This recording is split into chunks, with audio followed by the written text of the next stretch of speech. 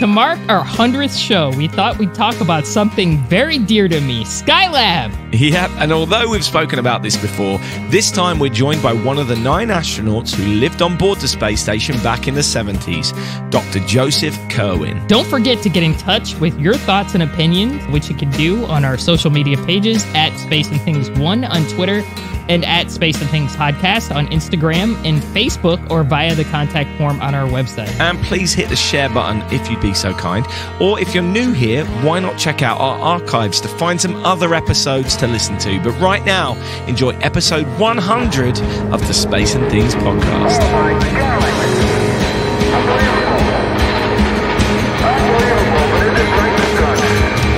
you're listening to Space and Things with Dave Giles and Emily Carney.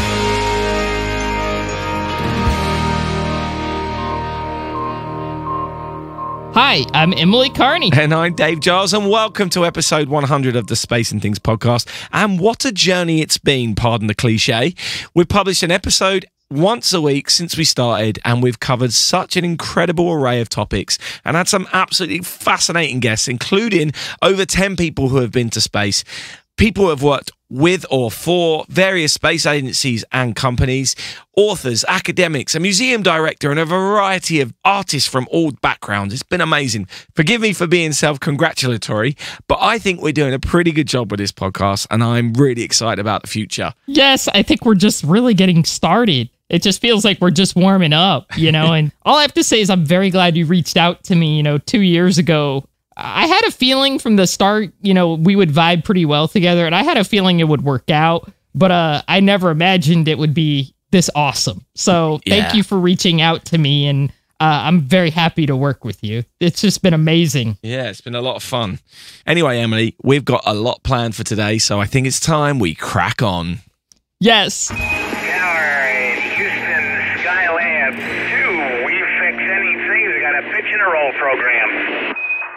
So I can't think of a better way to celebrate our 100th episode than by having another look at Skylab, my favorite program, and something that doesn't get nearly enough coverage. Uh, this time, though, we're going to be speaking to one of the nine astronauts who actually went up there. Uh, we briefly spoke to Dr. Ed Gibson in one of our first episodes as we paid our respects to Skylab 4 Commander Gerald Carr. But in this episode, we're going to be talking to the science pilot from the Skylab 2 mission, Dr. Joseph P. Kerwin. Selected in NASA's fourth astronaut class in June 1965, which was the first class to include scientists rather than just test pilot, although Kerwin is also a pilot, he became a captain in the Navy Medical Corps in July 1958 and was designated a naval flight surgeon in December of that year. He earned his wings at Beeville in Texas in 1962 and has logged a few thousand flying hours. As Emily said, he was the science pilot for the first crewed Skylab mission under the command of Pete Conrad and alongside pilot Paul Weitz. The 28 day mission launched on the 25th of May 1973, becoming the record holder for the most time in space on a single mission. While perhaps the main mission of this flight was to rescue the station after it was damaged during launch, they also performed a number of experiments, and on this mission, there was definitely a focus on medical research. So let's talk Skylab with Dr. Joe Kerwin. You got a hold of my legs, Joe? Yeah, one of them. One of them. Good. All right. So, welcome, uh, Dr. Joe Kerwin, and thank you so much for joining us today. Uh, this is really exciting. Uh, we at Space and Things always love a good scene setting question. So, what spurred the creation of Skylab and, and focused its studies in, in medicine, Earth observation, and uh, solar physics? Yes, I could spend about half the hour on that. what happened is NASA grew from a small thing to a very big thing with the Apollo program. But the managers knew all the time that if they were successful in the moon landing program, there'd be, have to be some follow on investigations and flights and explorations and stuff to continue growing and learning. The other aspect of that was that the trip to space included effects on humans that the doctors had no idea really about. There was some uh, some bed rest and other studies done on the ground, but uh, they weren't very acceptable, and and there was a, there were a lot of questions that didn't have answers. And you know, scientists, they want to do experiments, but there wasn't time in this program for them to do proper experiments. They could examine the crewmen carefully before flight and after flight, but that was about it. They could adorn them with uh, electrodes and measure their heart rate and respiration. That was okay. But that was it. And those aren't really experiments if you're into the life sciences. So NASA kept saying, okay, as soon as this program is over, we'll do something for you, life scientists, and you will get all the answers you need. And it saved up their energy. And along about 1965, the managers at NASA sat down and said, okay, let's get serious about what we're going to do after Apollo. And, you know, to make a long story short, I was not at the meeting. I had just joined. The answer was, we'll do a space station. And it turned out that Wernher von Braun, our uh, excellent expert in uh, space flight from Germany, had uh, for a long time thought about the future of, uh, of space flight. And uh, he had published on it he had uh, made made recordings and, and everything. And his idea was that first we just get up and back and uh, iron out those problems. Then we would launch a space station into Earth orbit, and we could use it to do the experiments that were necessary to see how the man responded. Uh, sometimes I use the word man instead of person. Excuse me. Uh, and, and how the equipment needed to work in weightlessness and, and all of that. And when we were done with that, we'd go to the moon. And he figured we'd be ready to go to the moon by about the year 2000. well, here it was, 19 what 61, and uh, uh, we had just been told by President Kennedy that we had to go to the moon. Uh, so the next obvious plan was to go back and do that space station and get us on the way to what Ronald Reagan in the future called the permanent presence of man in space. We needed to know if we could homestead up there, if uh, if we could live and work effectively for long durations. That's what gave birth to Skylab. And the second question was, you know, they're going to cut our budget once the Apollo program is is done. How can we do the space station relatively on the cheap?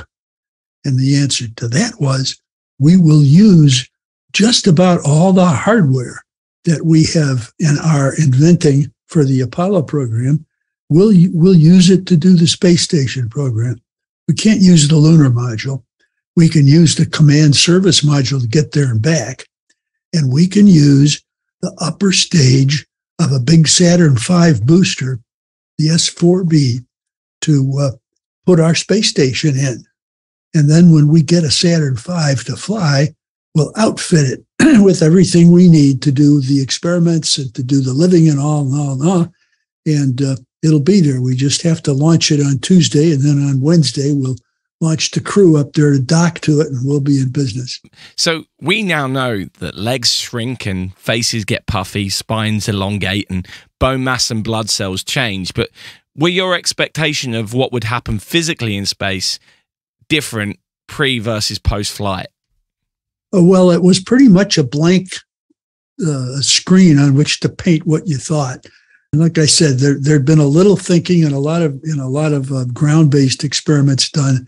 I will give you an example. One of the questions raised by the life scientists was, would digestion be normal in weightlessness if there wasn't gravity to sort of help the process of eating and digesting and eliminating along? They said, well, we don't know the answer, but let's see if we can find out a little bit. So they had some airplanes that, as you know, you could launch and make them go as fast as you can and then do a parabola. And at the top of the parabola, you pull the nose up and then you let it float over the top. And you can float that thing for about 45 seconds to a minute before you have to pull up again. That's weightlessness. It's very short duration weightlessness, but it is weightlessness. So they did an experiment. They got this medical technician who was not a pilot, and they said, You can be our test subject, and we're going to fit you up with the appropriate stuff, and we're going to find out if you can urinate in weightlessness. So they got this poor guy in his flight suit and his helmet, you know, and everything. they launched and they went to 35,000 feet and they got very fast and they pulled up. And then the pilot said to the subject, now. And the subject couldn't go. He was too tense and excited and he couldn't, he couldn't urinate. Okay. So they brought him back down and they wrote a serious paper and got it published in a serious journal that said there were going to be serious problems in weightlessness because the people are going to find it hard to go to the bathroom. The more sober people just said, you know, probably uh, there are going to be long-term effects on the bones that will shrink and uh, and get uh, lightweight and, and weak from disuse. There will be much sooner effects. First of all, on your balance and vestibular system, you'll probably get sick like like you do going on a boat, but for different reasons.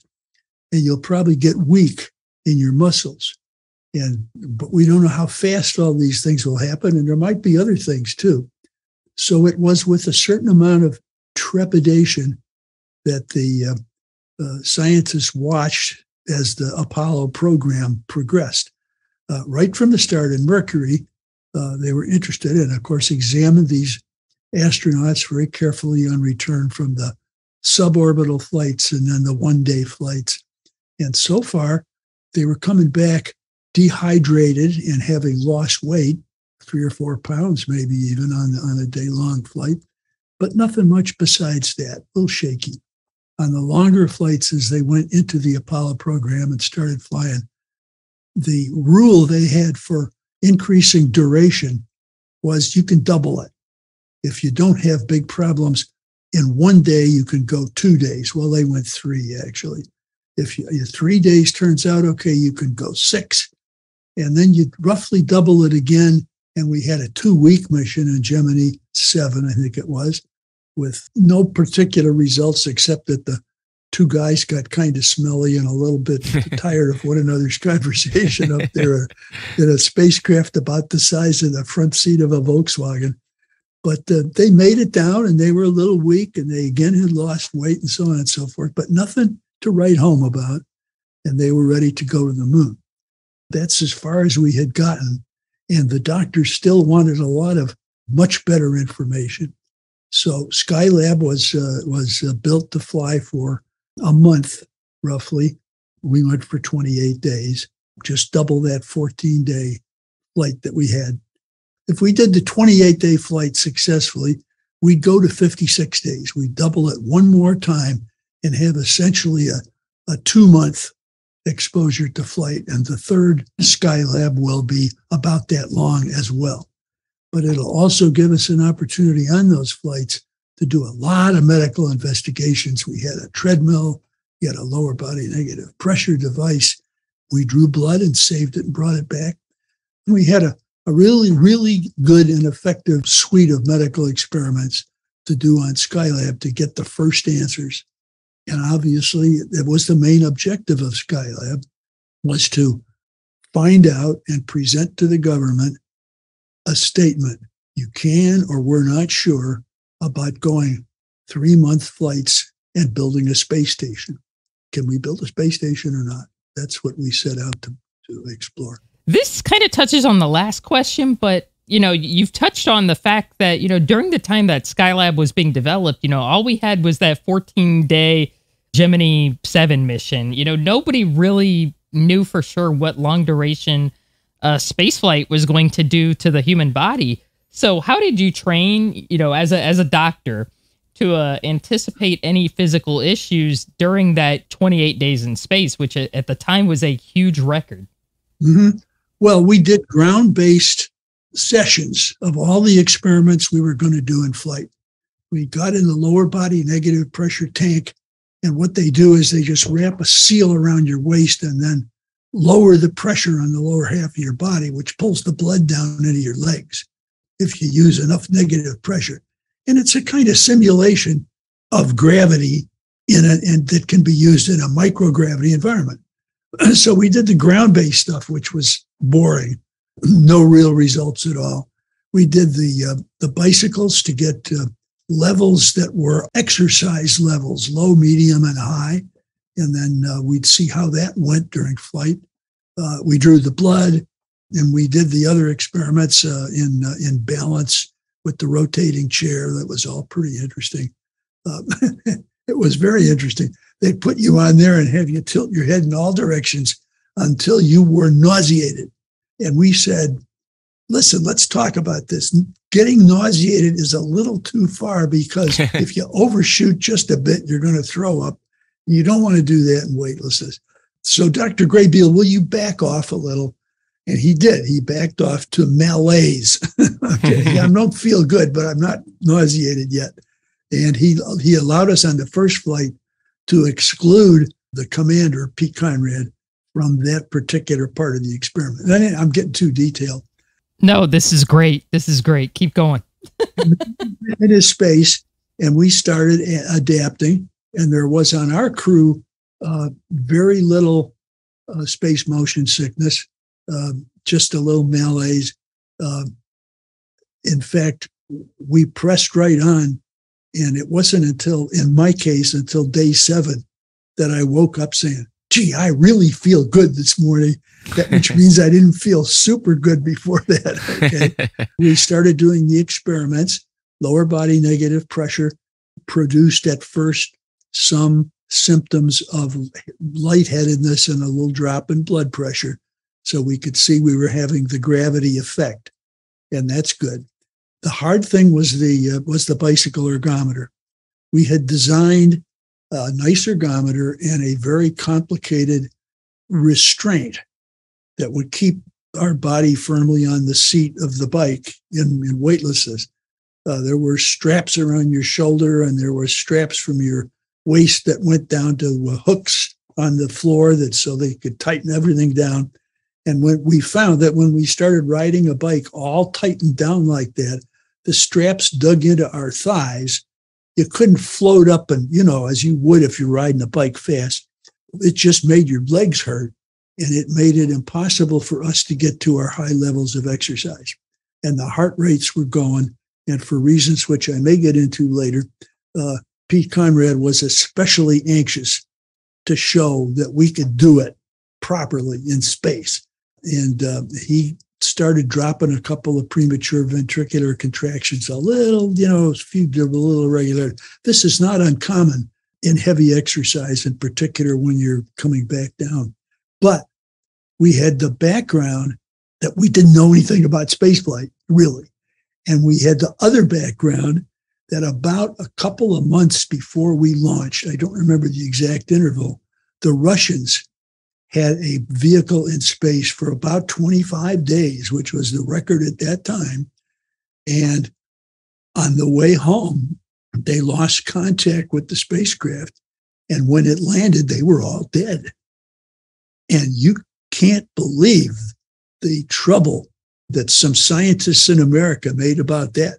You've got to stop Skylab. You've got to stop it. You're going to kill Americans.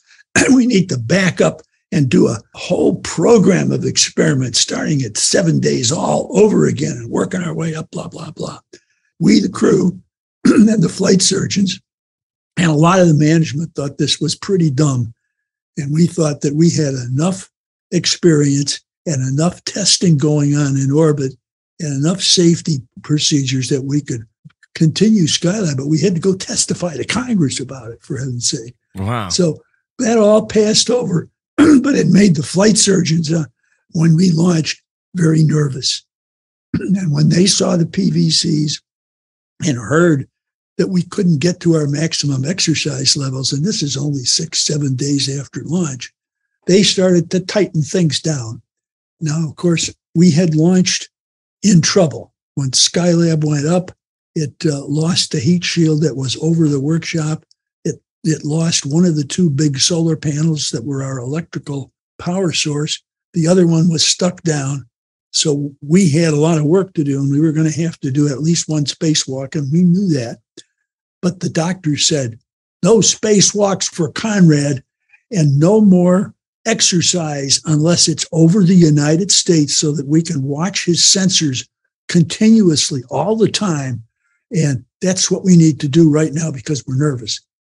And so Pete, being a shrinking violet, called for the uh, uh, a private conversation with the center director, Chris Kraft, who was an old flight director himself and a no nonsense kind of a guy.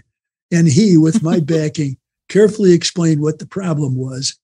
And as a matter of fact, just about that time, PJ Weitz had discovered that the cure for the bicycle problem was to take that complicated harness and stow it back in the locker where it came from and put some towels on the ceiling to bump your head against and just ride the bike bent over. worked great. So when he told all that to uh, Chris, Chris said, I'll take care of it. And he turned the flight surgeons around and we got to do that spacewalk. That's incredible.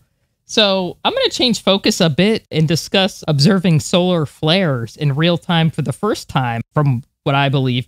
The images of the sun taken by Skylab are still really mind blowing to this day. Tell us a little bit about how Skylab advanced the field of solar physics.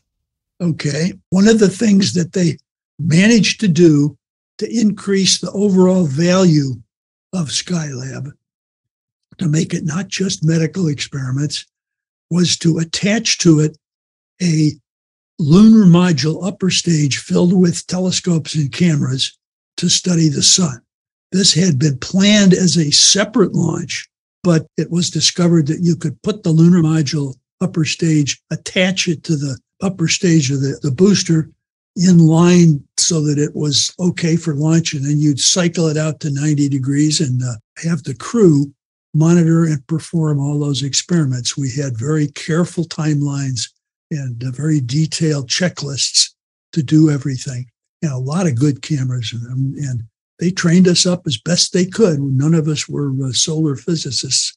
There was some question about whether certain experiments ought to be tried as we got down close to launch. And I loved the reply from one of the principal investigators, whose name I have forgotten. He said, Look, this crew is going to be there. We have trained them well. They are satisfactory. And we need to let them know that we have a lot of confidence in them and that everything they do will be correct. And everybody else said, well, okay. so we got there and yeah, we made a few minor mistakes, but a, the big breakthrough came about day 23, I think it was. Paul Weitz happened to be at the controls for that, and we were doing something else and he shouted down, "We got a flare! We got a flare!"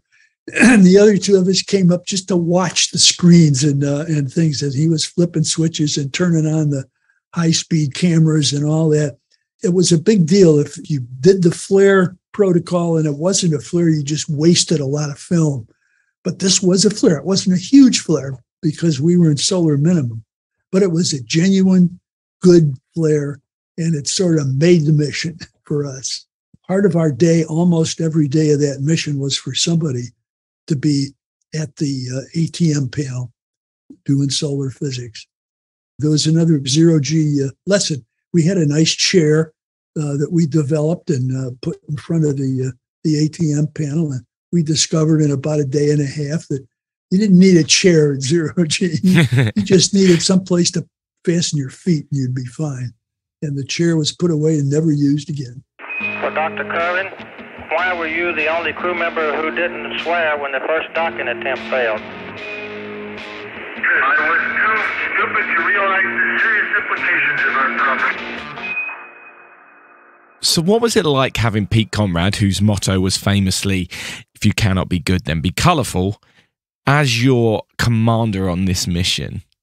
Pete was both good and colorful no doubt about that. And uh, we were an all Navy crew and we got along great. And uh, 28 days is not long enough to get cabin fever. Yeah. even, even, though you know, even if you're you're isolated a lot, so we we got along very well as a as a crew. Even in in retrospect, here 49 years later, we were very lucky in Skylab that two of the three Apollo 12 astronauts who put their feet on lunar soil, wanted to stick around in the program and fly this long duration mission and give us the benefit of their skill and their experience and their attitude. Mm. Most of the Apollo crews, for, for very good reasons, uh, didn't fly again after those moon landing missions. But Pete and Al Bean did fly again, and Pete was the skipper of the first flight, Al Bean of the second flight. and we gained a lot. Why was Pete motivated to hang around and do 28 days? And he told me more than once that he was one of the candidates for the original group of astronauts, okay, along with Shepard and Slayton and those guys. And uh, when he was examined by the surgeon, he was given a rectal examination, which, in his opinion, was very crude and painful and unnecessarily so. And so that day he uh, went to the bar, saw that guy at the bar, and uh, sort of gave him a little dressing down like only Pete could do.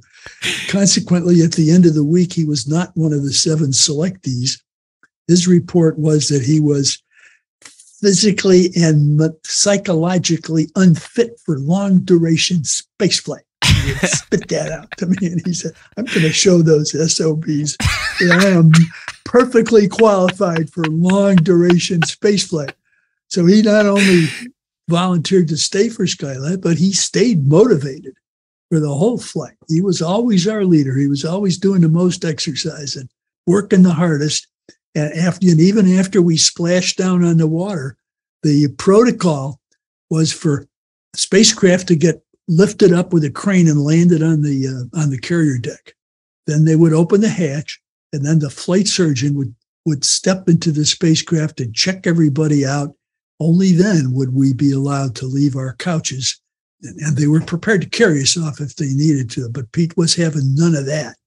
According to his plan, we were all ready, and when the hatch opened, Pete was out of it like a shot, standing up there and walking away, and, and the rest of us followed, and we walked across that deck. Yes, feeling well like we weighed 400 pounds, but that was okay.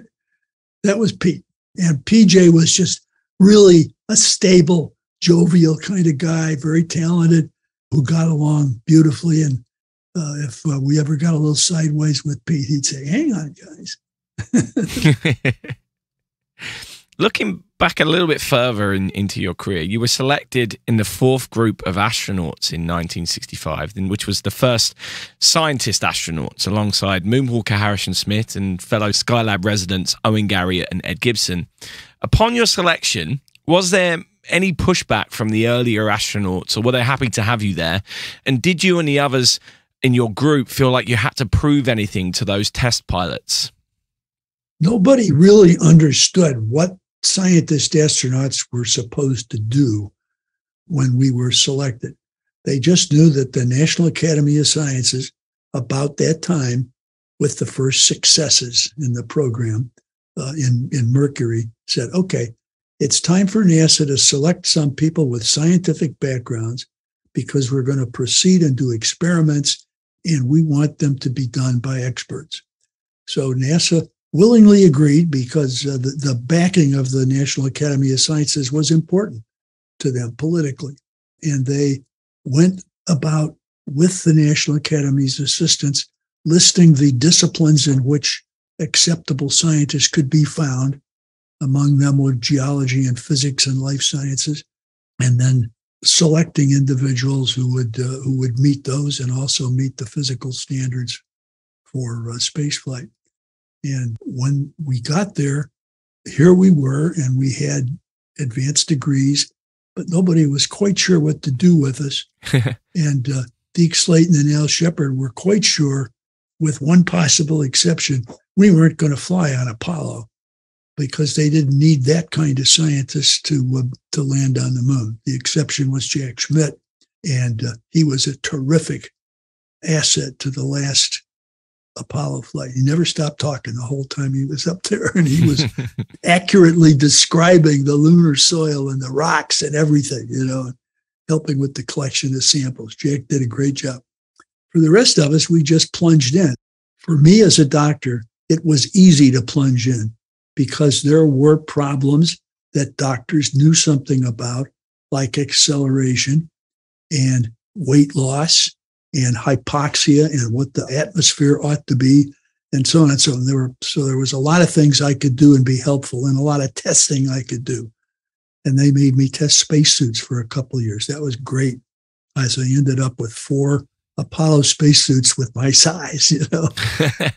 then they got me into testing the uh, the being on the groups of three astronauts that would do ground tests on the Apollo spacecraft, the command service module in the vacuum chamber.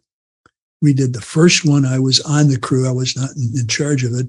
And it was a terrible spacecraft. It was Apollo, uh, it was spacecraft 008, identical to the Apollo 1 spacecraft. We launched in 100% oxygen. They launched in 100% oxygen and paid with their lives for it right there on the pad. The second spacecraft was the uh, the one built after all the changes were made, and it was a beauty. Everything worked. So I had those experiences.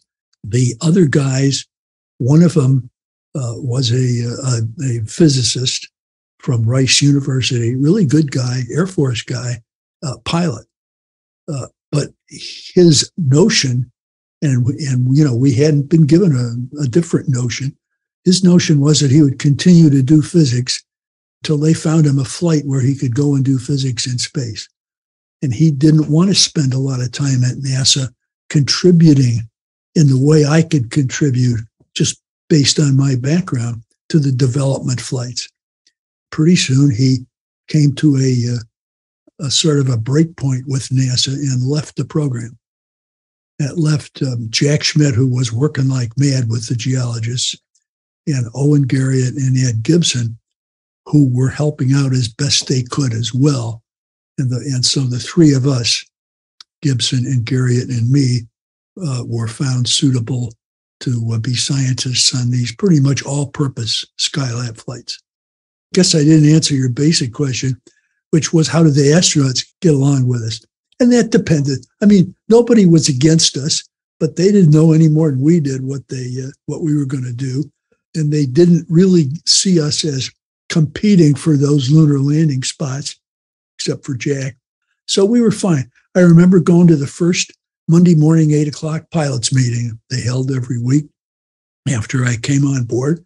And Al Shepard was up there in the front telling stuff. And he said, Well, we've uh, hired these uh, scientist astronauts, and some of them are off learning how to fly. But uh, here's Joe Kerwin in the, in the back. Al said, They're going to let us pick another set of, of, uh, of crew members next year. And uh, Dick Gordon said, Are they going to be scientists or pilots? And uh, Al said, Well, I heard, certainly hope they'll be pilots. and then a little later in the in the uh, half hour, he said, "Now we uh, we'll be picking crews for the uh, I forget which ones, the Gemini five and six missions now to start training. Anybody want one?" And I raised my hand. He said, "Put your hand down, Kerwin," with a smile. okay. So it was friendly. The only there were only a couple of guys who actually dropped into my office in the next few months to say hello and could they help. And uh, the fact that one of them was uh, the the first man to land on the moon is something I will not forget. It was friendly. There was lots to do, and the entire experience from beginning to end was just a lot of fun good place to be, good place to work. So we've had a question from one of our uh, Patreon subscribers. Uh, Richard Jurek has asked, uh, for Skylab, I understand that the astronauts selected several books and or extra music cassettes to take with for off-work entertainment time. Uh, did you take anything special with you, and what was your favorite? Each person had their own selections of music on tape, and I, I picked mostly classical stuff because that's what I like to listen to. But I picked some songs from around the world just for fun. And I never did make any public, you know, account of those.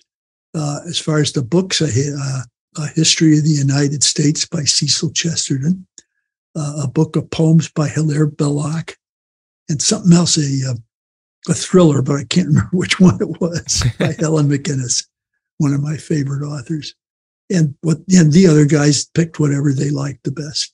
So we heard different music around depending on uh, pretty much who was who was at the ATM doing solar physics because you could hang your uh, cassette recorder up there and just play while you worked. So I'm guessing you guys heard a lot of country then.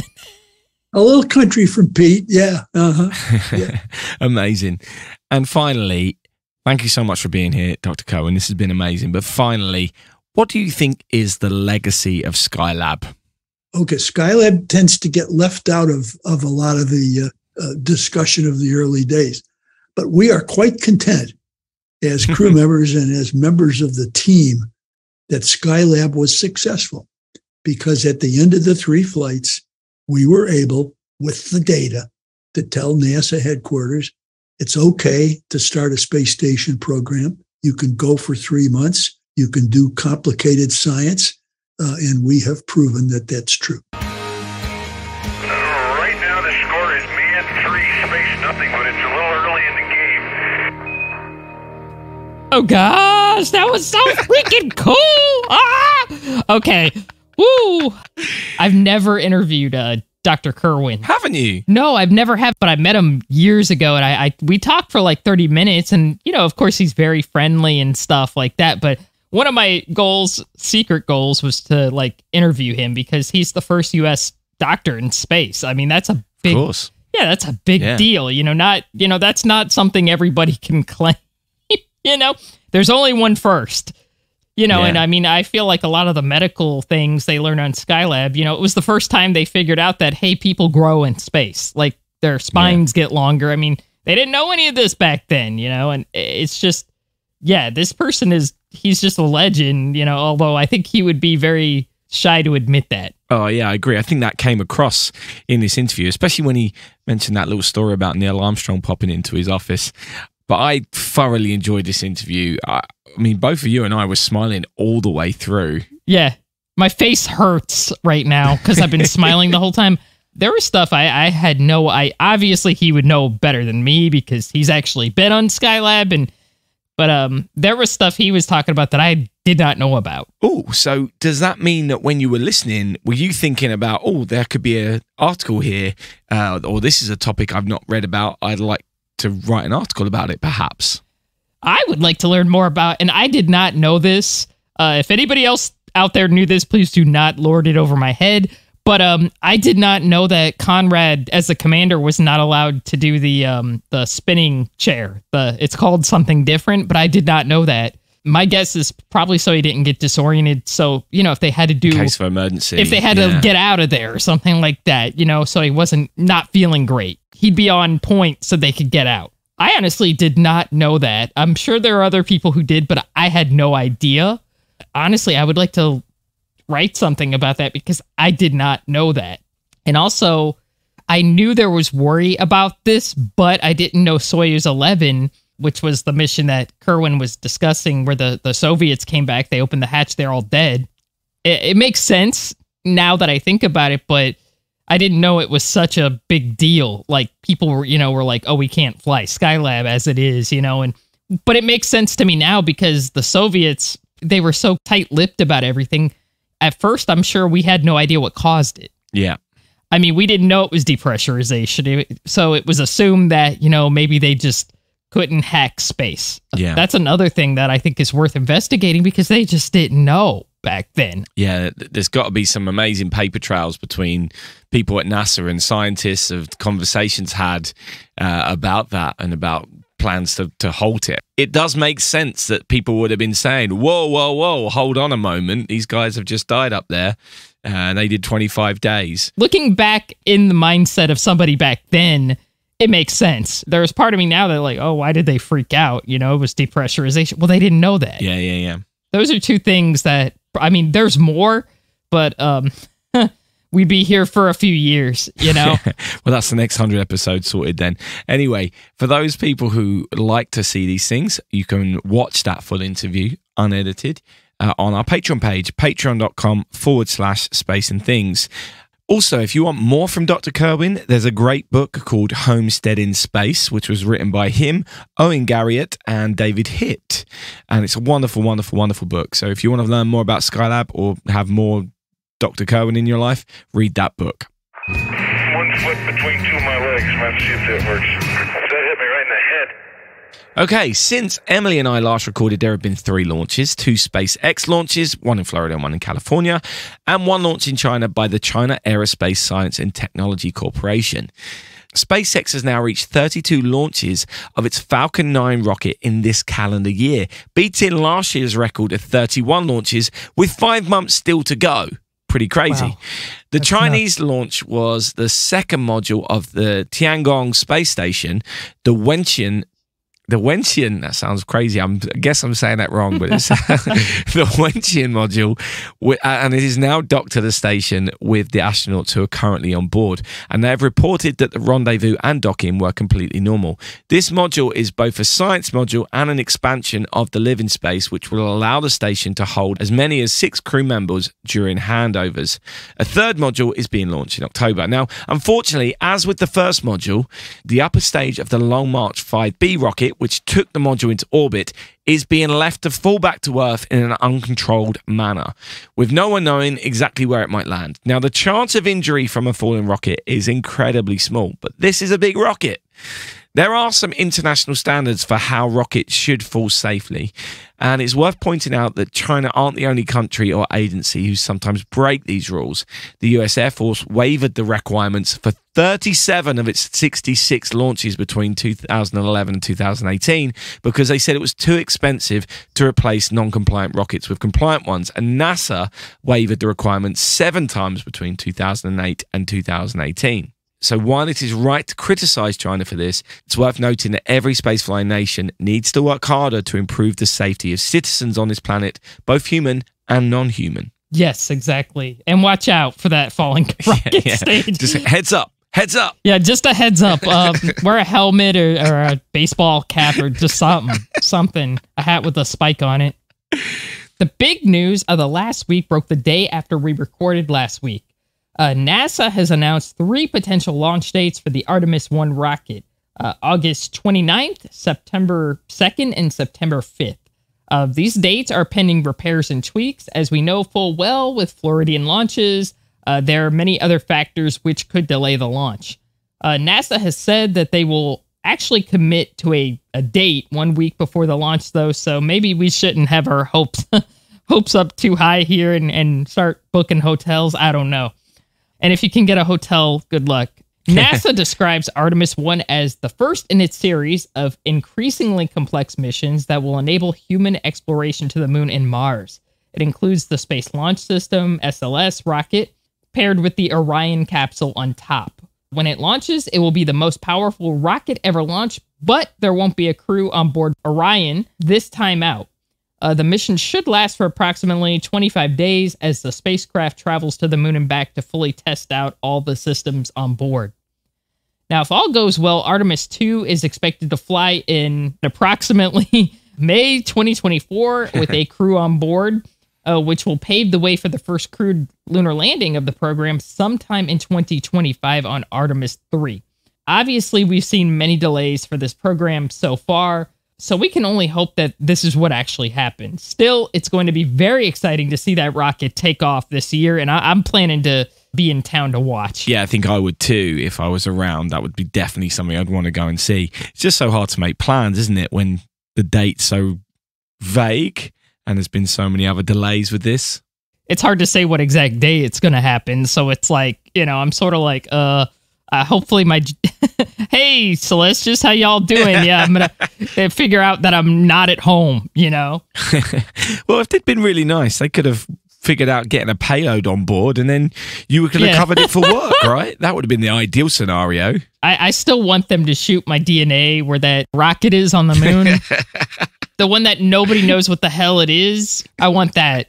I'm going to talk to my boss tomorrow. Make it happen. Yep, make it happen. Cle- Yeah. yeah. Meanwhile, on the International Space Station, Oleg Artemyev and Samantha Cristoforetti completed a seven hour spacewalk outside the station on Thursday, the 21st of July. It was the first time in nearly 25 years that a European has participated in a Russian operated spacewalk. They configured a new robotic arm for the Russian segment of the station and hand deployed a series of small satellites. It was the sixth spacewalk of this year at the International Space Station and the 251st supporting the assembly, upgrade, and maintenance of the International Space Station since 1998. However, we literally had some breaking news just before we came on uh, and recorded this. So this is probably not the best reporting we've ever done, but We talked last week about the head of the Russian space agency Roscosmos, Yuri Borisov, and today he has announced that Russia will be pulling out of the ISS after 2024. It's currently unclear what this means or whether it will actually happen. NASA astronaut Kjell Lindgren, who is currently on board the ISS, was asked about this today during a conference. And he said, This is very recent news, and so we haven't heard anything official. Of course, you know we are trained to do a mission up here, and that mission is one that requires the whole crew. And so we will continue to work every day to conduct science and research that we've been trained to conduct the station is due to be decommissioned at the end of this decade. So it'll be interesting to see what happens here. Yeah, I'm just going to discuss this for a second before I, I get to the next news story. But I honestly think this is sort of like when your schoolyard bully says, "Hey, I'm going to beat you up," and they just never be they never beat you up. They just say they're going to beat you up. All talk. Exactly. I think I honestly believe this is the same thing, but we'll see. We shall see.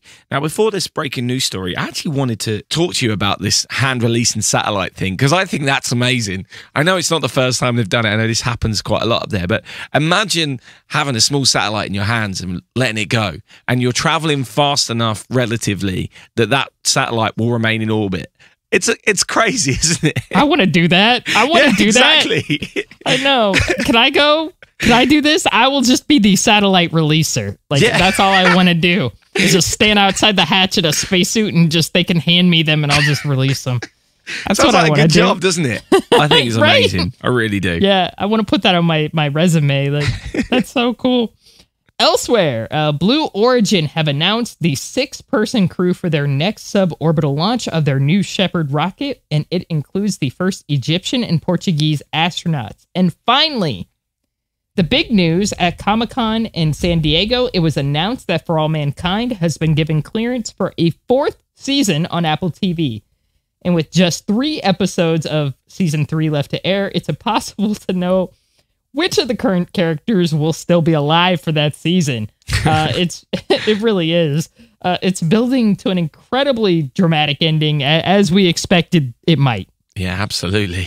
It really is. Gut, that's the place to work, but you're still behind it. You can just come over it right there, behind it. Now you're in front of it again. That's it for this week. 100 shows. Your support in what we do makes it even more fun for us. I would probably still be doing this if no one was listening, but the fact that so many of you are and continue to share the podcast with your friends and some of you support us financially is really quite overwhelming and wonderful. So thank you all so much. Uh, I'm currently writing up a hit list for guests I'd like to have on in the next 50 episodes. I'm sure Emily is as well. So if you have anyone that you'd like us to speak to or any ideas, please do let us know. Yes, uh, and just to echo what Dave said, you know, uh, your support and the fact that you all listen out there and, and you like the show means so much to us. But again, you know, if you have any suggestions, please let us know and we'll try to make it happen. But don't forget, in space, no one can hear you me. Space and Things has been brought to you by And Things Productions.